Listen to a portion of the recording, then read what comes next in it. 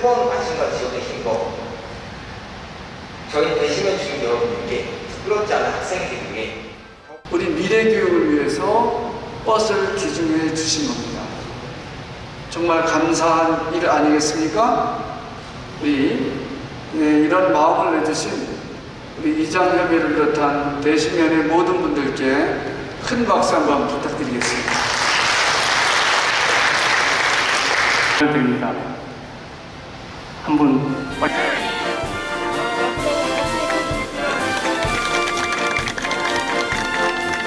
전 너무 좋아요.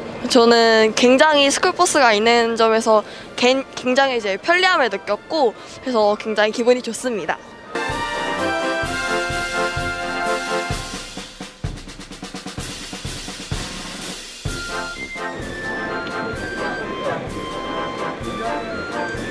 아 너무 감사합니다. 너무 기증해 주셔서 너무 감사드리고